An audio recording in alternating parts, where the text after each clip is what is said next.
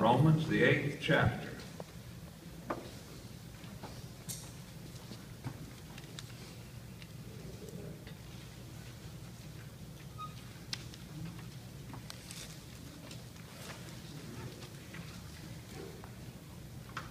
Adrian Rogers made this statement in a book he wrote entitled The Kingdom Authority. He said this, quote, In order to be over the things that God has put under you, you must be under the things that God has put over you. End quote. We'll give it to you again because it doesn't sink the first time. In order to be over the things that God has put under you, you must be under the things that God has put over you. Now, just in case you're wondering what those things may be, just a short list of those things. One of those things would be the lordship of Jesus Christ. Another of those things would be the authority of the Word of God, the Scripture. And another would be the authority of what we talked about Sunday, the authority of the Holy Spirit. You know, I, I remember growing up in church, they would elect officers for different things, and, and not just in church, but they would elect officers, and there would be a president and a vice president and a second vice president and a third vice president. And you always wondered about what, what did that third vice president do? You know, two or three people either have to be absent or die for that person to ever even get close enough to the top to ever think about making a decision. And and, and, and, and I mention that because when a lot of times when we talk about the Holy Spirit, we, we say, and, and I say it as well, the third person of the Godhead. As in there's a level of importance God the Father's the president, and Jesus is the vice president, and the Holy Spirit's the second vice president. So he, he's, he's way down the authority level. That's not true. The Holy Spirit is God. It's God. And we as God's people, we are to live under the authority of the Holy Spirit. Somebody else made a statement one time about leadership, and uh, I forgot to turn my phone on. I was supposed to shoot this for my wife. Oh, well, too late now. And, and, and they said this about leadership. They said, uh, if, if you can't, think how it went here. If you can't be a follower, you can't be a leader. And, and there's a lot of truth to that. Now, I'm going to read you the first four verses of Romans, the eighth chapter. But then for us to really understand what that's talking about, we've got to go back to the fifth and sixth chapter, and, and, and we're going to we're, we're, we're to do that in a minute. But here's what it says in the eighth chapter, first verse. There is therefore now no condemnation to those who are in Christ Jesus, who do not walk according to the flesh, but according to the Spirit. For the law of the Spirit of life in Christ Jesus has made me free from the law of sin and death. For what the law could not do, in that it was weak through the flesh, God did by sending his own Son in the likeness of sinful flesh on account of sin. He condemned sin in the flesh, that the righteous requirement of the law might be fulfilled in us who do not walk according to the flesh, but according to the Spirit. Now, for us to understand what Paul's talking about in chapter 8, we've got to go back. So go back to chapter 5. We're not going to read a whole lot of verses out of there, but we're going to we're going to go back into verse 5, chapter 5 and chapter 6 and, and kind of get a, it's kind of like Pete trying to get that train going yesterday at the zoo. He had to, he had to back that thing up and get a running start because the track was wet. Well, sometimes when we're looking at Scripture and we read something and it just doesn't click any, anywhere, any way, we have to get scoot back a little bit and get a running start. So, so that's what we're going to do tonight to, to understand this. And what we're going to talk about, I, I tried to find one this evening, but I couldn't locate one. But you remember, or at least when I was young, they, they had a, it wasn't, a, it wasn't necessarily a children's Bible, but be a Bible and every 40 or 50 pages or so, there would be a picture. And over in Genesis, there would be a picture of usually the Garden of Eden, and you flip that page over, and there'd be a, probably one of the of the ark or something along that line. And as you go through, it was different pictures about different things. And and, and I thought about it. I, I, I probably could have Googled it and, and found a, something what I was looking for, but I remember looking at those pictures, and, and I remember that book that used to be, remember that book that used to be in the doctor's office? It may still be. I don't go to the doctor anymore, but very often. But there was a Bible sort of a book. And it had all kind of stories in it and had pictures that sort of illustrated those stories. And, and I got to thinking about that picture that I can that I can still see in my mind about, about the Garden of Eden. And, and we look at that picture and we say, man, I, wouldn't it be great to, to, to go back there? Wouldn't it, wouldn't it be good to, to, to be able to, to, to go to that place and, and for things to, to be that way? And, but, but what I want to talk about tonight is this, is, it is, what, is what we lost in Adam because of sin but what we find in Jesus Christ. And I'm just going to go ahead and, and, and, spoil the whole party for you. What we find in Christ is far better than what we ever had in Adam. So, so this, this passage of Scripture, look, look back at the 17th verse of chapter 5. This will kind of be where we start. This is, a, this is a key verse, and it says this. It says, For if by the one man's and that, that one man is who? It's Adam. Said, if, if by the one man's offense death reigned, through the one much more those, and, and I think that those includes us, who received the abundance of grace and of the gift of righteousness will reign in life through the one. Who's that one? That's Jesus. Christ. Now, now this verse tells us this. It tells us about two kingdoms. And it tells us about two kingdoms that want to reign, R-E-I-G-N, over us. And it tells us about a man that heads up each kingdom. The, the one is Adam, the other is Jesus. And, and every one of us in this room tonight, we belong to one camp or the other. We belong to one of these kingdoms. We either belong to the kingdom that Adam would be the head of, or we belong to the kingdom that Jesus is the head of. Adam is the kingdom of death, and Jesus is the kingdom of life. And we all, we all belong to one of those kingdoms tonight. Well, when, when, we, when we get over here in this, in this verse, verse 17, we run into two M words that are, that are stuck together. And we run into these M words, I think, five different times. But what it tells us, and what we will see in just a few minutes, is, is, is the much more that, that we read in that verse. When we read a much more, we find out that we have much more in Christ than we ever did or would have had in Adam. So, so let's begin to go through here and look at the things that we lost or that we inherit from Adam. Now, what, what, we, what, what we find there is, is, is Adam when, when Adam and Eve partook of the forbidden tree, they partook of the forbidden fruit, they, in essence, sold themselves into slavery. They became slaves to sin from, from that point forward. Now, the children, this is what I read, the children of slaves are also slaves. Now, we, we, we know where we immediately came from. I immediately came from Charles and Ruth Cowart.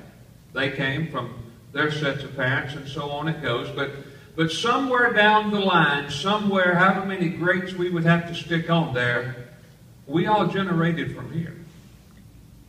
Some way, somehow, and I don't know what the family tree would look like that would trace its way all the way back down here to, to Adam, but, but, but this, is, this, is, this is where we've come from. So we're, in essence, we're children of slaves. And, and, and, and, and we are when we're born into this world, we're slaves to sin. We're, we're just slaves to sin. Now, what do we inherit from this relationship? Well, one of the things that we inherit is we inherit weakness rather than strength. Now, Romans 5 6 says this when we were still without strength. Now, that's not talking about your guns, these kind of guns. This is talking about spiritual weakness. And, and, and in essence, what it's saying, and we talked about this Sunday, is, is we don't have the power. We don't even have the ability in and of ourselves to be and to do what God wants us to do and be. He tells us to be holy. Can Steve Cowart be holy on Steve Cowart's account? No. It, can, can Steve Cowart love his enemy? No. Can Steve Cowart do all the things that the Word of God tells Steve Cowart that he needs to do? No. So therefore, he gives me a, a helper. So, so what I inherit from great, great, great, great grandfather Adam is I inherit weakness. And, and, and I still have a bit of that weakness in, in areas of my life. I, I, I still have that. So, so, so, so we inherit weakness. Then, then we stay in that same verse. We find out that we also inherit wickedness. Now here's what the end of that same verse, verse 6 in chapter 5 says. It says, we were still without strength. In due time, who did Christ die for? It said the ungodly. Do you know that included us? the ungodly. That we were created to be godly. But we find out that the Word of God tells us that, that, that we were ungodly. God made us to be like Him. Being unlike God is that, that's our problem. And, and, and what happens today is this in, in, in churches, and I believe it happens all across America. I know I'm, I'm sure that it happens here at Trinity is we sit in church and we hear a teacher teach or we hear a preacher preach and they preach about sin. And sometimes, if we're not careful, we sit there and we gaze around the room wondering, well, who's he talking about? And we never realize that it's us. It's us. We're, we're, we're, we're sinners. Listen, here's what we do. Is, is we, we measure ourselves always against somebody that's going to make us look good. Don't we? I was in school and didn't make a good grade. I didn't go to the person that was going to be the valedictorian of the class and say, Dad, you ought to see what the valedictorian of the class made. Because that would make me look bad, worse than I already looked. I always picked somebody that was lesser. If I made a C, I picked somebody that made a D, or I made it up that they made a D anyway. And that's, that's the way that we do things. And we still, we, we, we don't grow out of it. If we're not careful, we still do it. And, and we begin to compare ourselves and measure ourselves against somebody that's lesser than what we are because it makes us look better. And it makes us look better. But what, what the Bible says is the Bible says this in Romans 3.23. It says we've all sinned. And we didn't come short of the glory of Rick Williams. We don't come short of the glory of Steve Cowart. We come short of the glory of God. So our measuring rod is not any of us. Our measuring rod is not somebody that would be laying in the proverbial gutter on the side of the road somewhere in a drunken stupor. Our measure is God. And when we use the correct person to measure against, I will assure you that when we begin to talk about the fact that we're sinners, we don't have to look around the room. We don't even have to look across the table that we're sitting at tonight because it's us. It's us. We, we, we come short of the glory of God. So we inherit from, from Papa Adam, we inherit wickedness rather than godliness. Then we also inherit wrath rather than approval. The Bible says in the fifth chapter, the ninth verse, Much more then, having now been justified by his, Jesus' blood, we shall be saved from wrath through him. And that hymn, again, is a reference to Jesus because, because of what we are. We all know what we are? Sinners. Because of what we are, we're headed, without Christ, we're headed to eternal hell. That's, that's where we're headed. It is not politically correct. It is not politically polite. It is not politically accepted to talk about the wrath of God. Because all we want to talk about nowadays is we want to talk about the love of God. And the love of God is wonderful. The love of God is great, but the wrath of God is real. It's absolutely real. Some of you knew my dad. And, and I've been asked numbers of times if there was ever a time when he didn't smile. And I'll tell you, yes, there sure was. There were times when I didn't just know the smile that everybody talked about. I knew the wrath of Charles Calvin. I still remember the sound of the belt coming, the, the little jingle that the little metal part there makes. I remember the sound. And I knew what sound was coming next. I liked the one coming out a whole lot better than I liked the next one. But as, as loving as he was, and he was, God bless him, he was, there was also a side of him that didn't put up with a lot of things.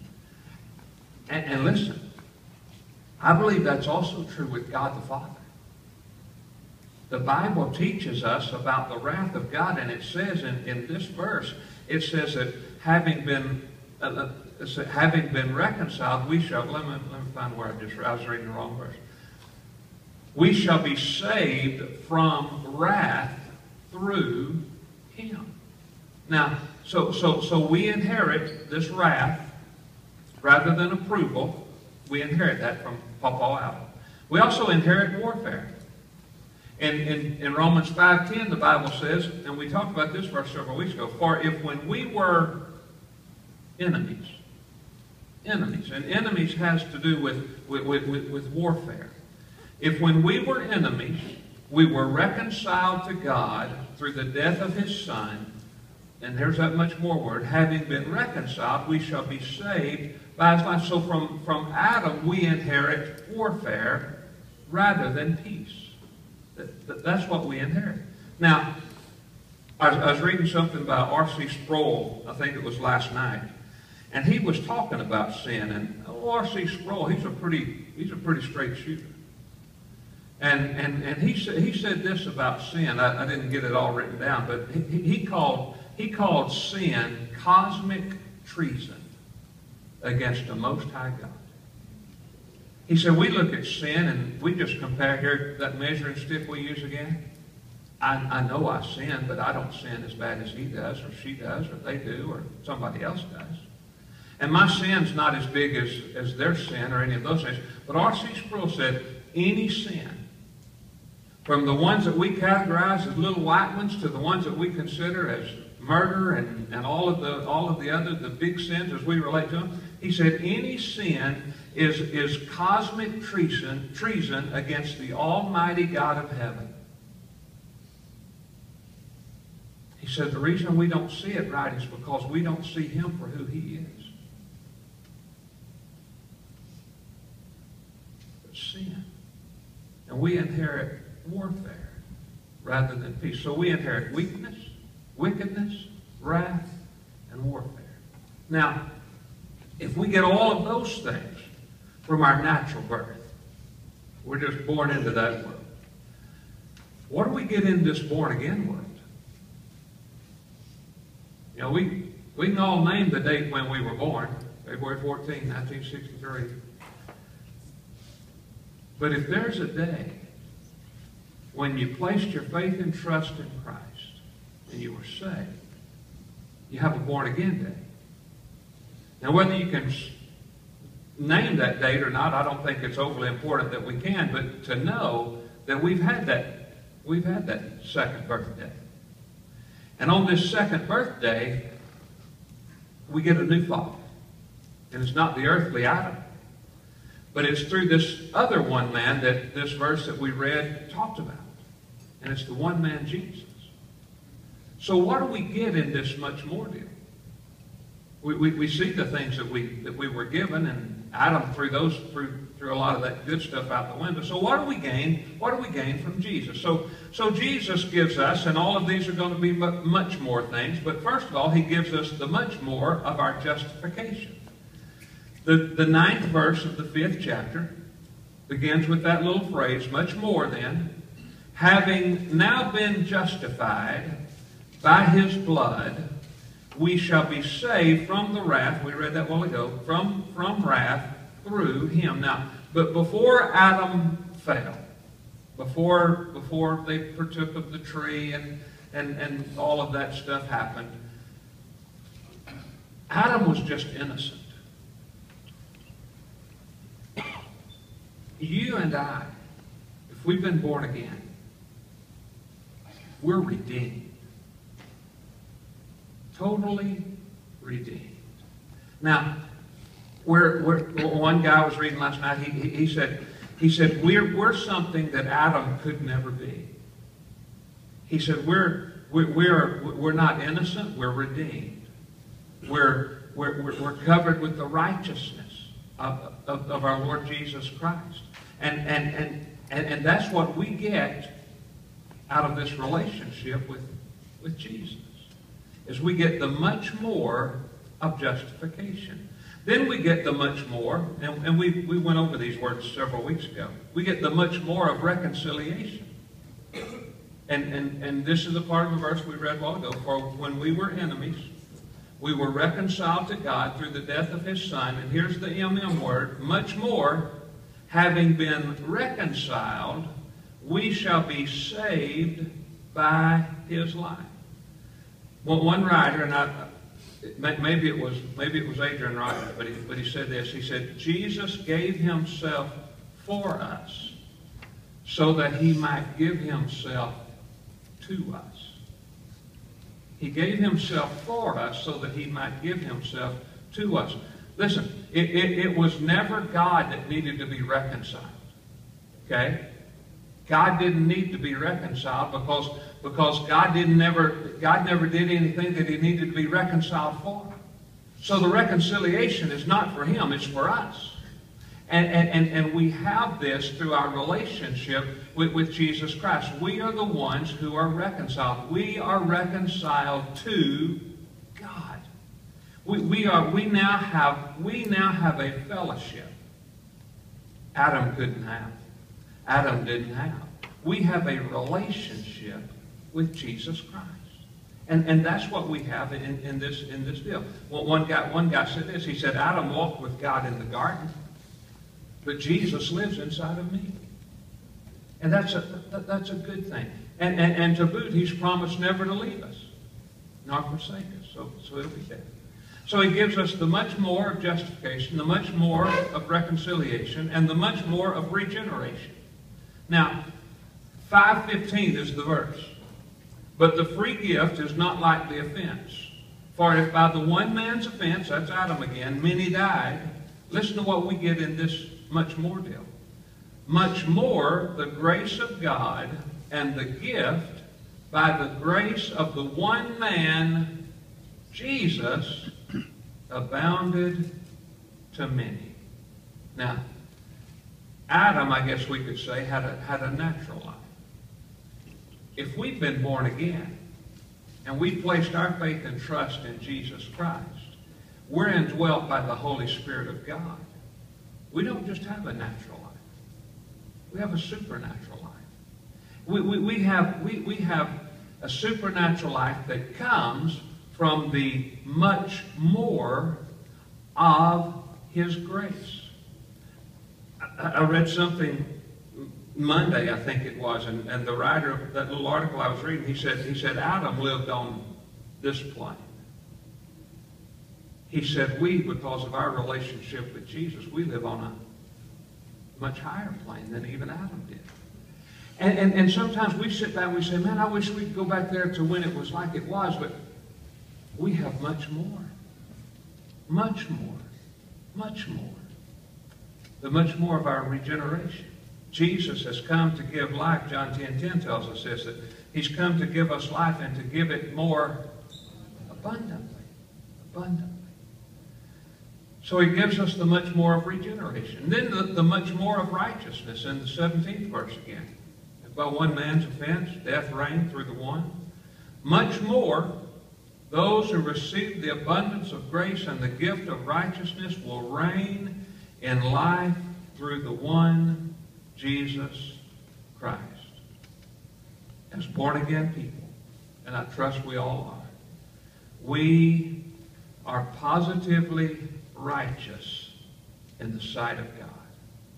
Because when he looks at us, he doesn't really see us, but he sees the righteousness of his Son, Jesus Christ.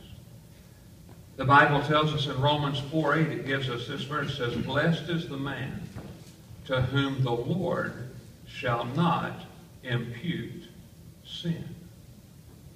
And if you've been born again, our sin was taken from us and placed upon the Son. So we, we have much more, the much more of our righteousness. Then we have the much more of our reigning. Not, not that kind outside, but the REI kind. Here's verse 20 and 21 of chapter 5. Moreover, the law entered that the offense might abound. But where sin abounded, what happened? Grace abounded much more. So that as sin reigned in death, even so grace might reign through righteousness to eternal life through Jesus Christ our Lord. Now, Adam was the head of the old creation. But we, as born again Christians, the, the people of God, the children of God, we're going to rule and reign with Him, according to the Word of God. And, and, and not only that, this, this verse, back to the 17th verse, we, we not only will reign then, but we, we can reign in, in, in life. It, it, it, says toward the end of that verse, it says, and of the gift of righteousness will reign in life. Life. Through the one, Christ Jesus. So, so you see, that the much more that we get in this relationship with Jesus, it so far outweighs what we could have ever had had we been back there with Adam. So looking at it this way, I would rather be Steve Cowart in Romans 5 than to be Steve Cowart in Genesis 1 because of what I have in Jesus Christ. Now, we all know that Paul is the author here.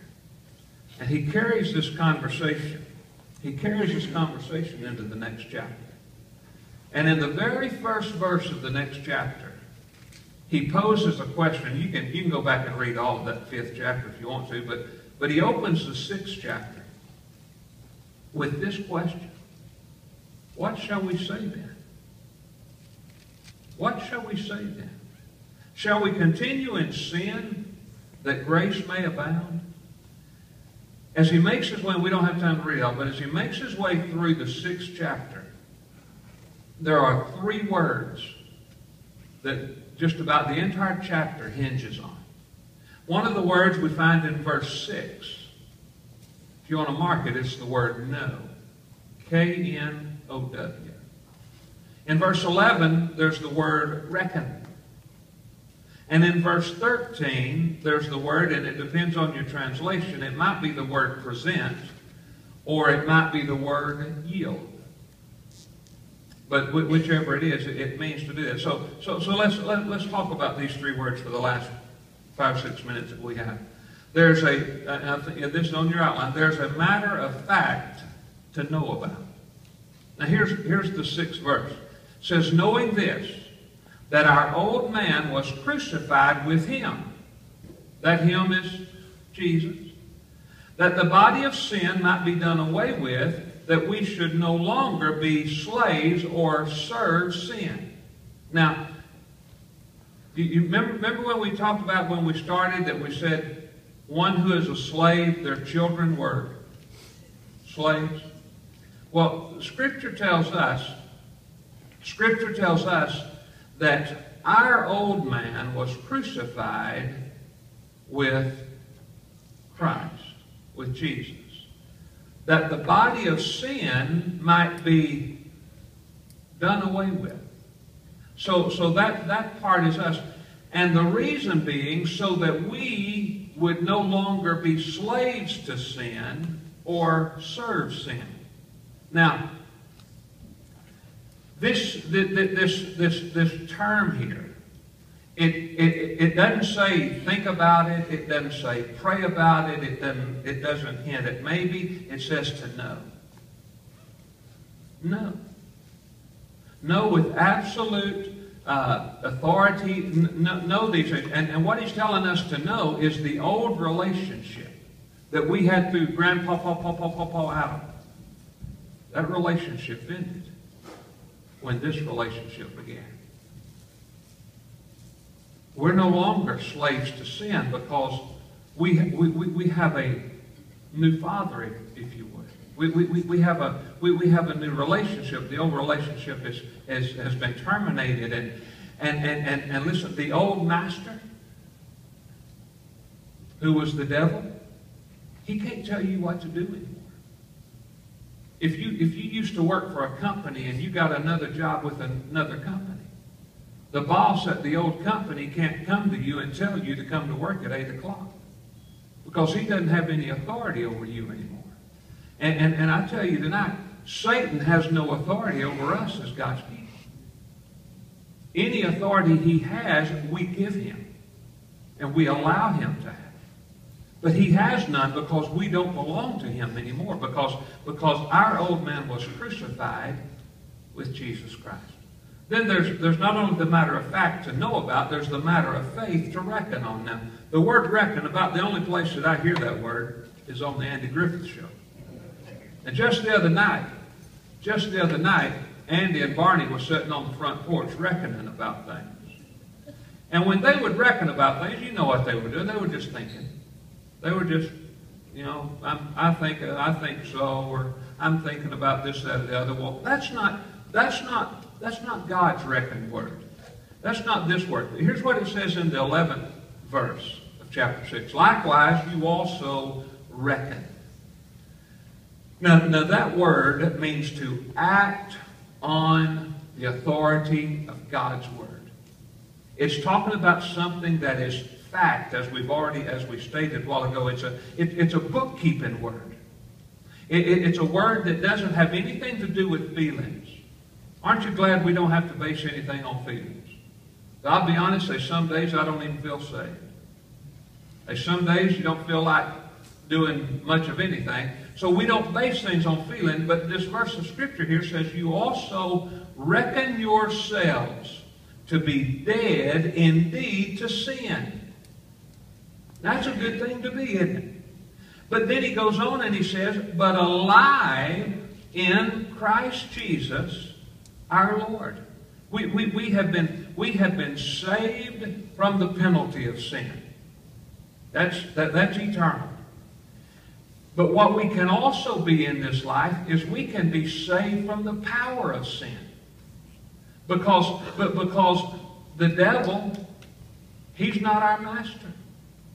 We're indwelt by the Holy Spirit of God. We have been crucified with Christ, and, and the devil cannot make any demands. If, you remember the old Flip Wilson show when he cross-dressed as, as Geraldine Jones and he come out and he made that statement, the devil made me do it?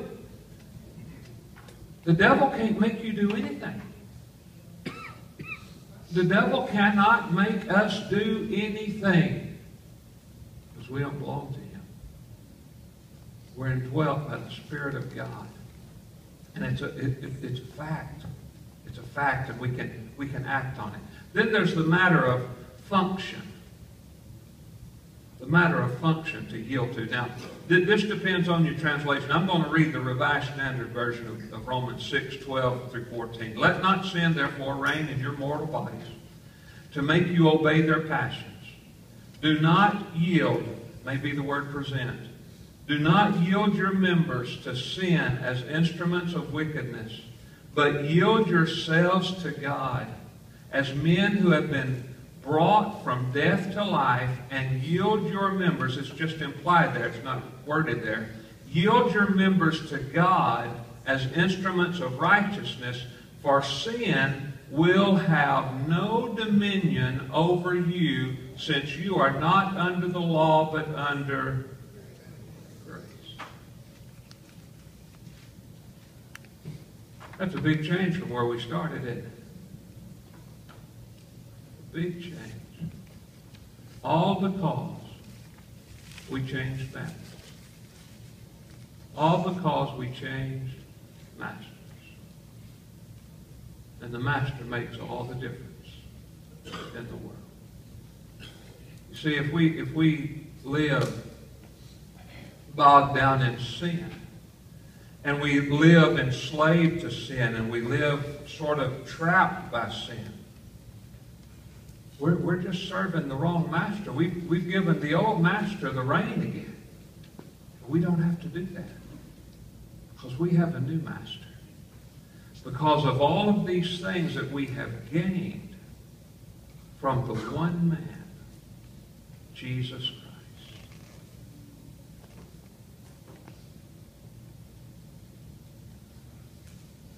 It was quite a deal that we got. If somebody were to walk up and ask you, what's the, what's the best deal you ever made? You might have a story that you made a great deal on a car, you made a great deal on a house, or you made a great deal on a boat. I don't know what, what your great deals are. But if you've been born again, I'm going to tell you what your greatest deal ever has been. And that's to swap all that stuff for everything that we got in this relationship. Jesus Christ. It's literally the gift that keeps on giving and will for all of eternity. Let's pray. Father, thank you. Thank you, in essence, for making every day Christmas morning for us. We have your indwelt presence in our lives. We have you to guide us and to lead us and to direct us. And Lord, we know that when this life as we know it comes to an end, we, we have eternal. Eternity in heaven with you. In a place that you've gone to prepare that we'll talk about on Sunday. But Lord, for the here and now, you've given us so much more than we ever would have had in any other way. And God, I pray tonight that as we dismiss from this place,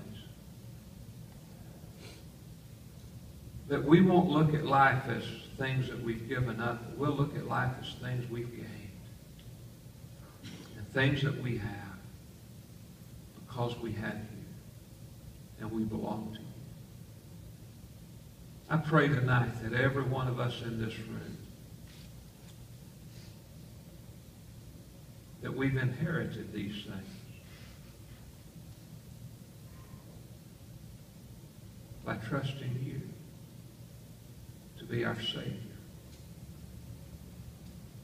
And God, I pray that, that you'll remind us each day of all that we have.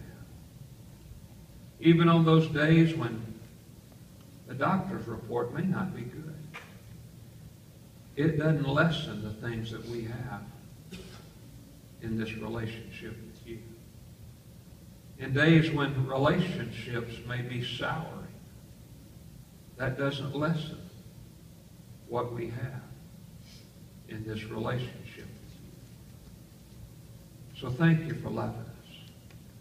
And thank you for what you have already and continue to give us each day of our life. Let us be faithful to you. Let us yield to you. And let us follow you as you lead us in our life every day. I pray that you watch over and protect us as we travel home. That you would be with all of those that we've mentioned for prayer, and there seem to be more tonight than normal. And I just pray your them. I pray for Ellen as she sits here tonight. That, that God, I, I pray you do a miracle in her life. Because I know you can. God, I just pray you bless her, strengthen her, and use her each day. Pray for her family. Pray for Shannon in the hospital. I pray for all the others of our church family that are hurting tonight. You'd bless them in a special way. Dismiss us under your watch, care, and grace. I pray it in Christ's name. Amen.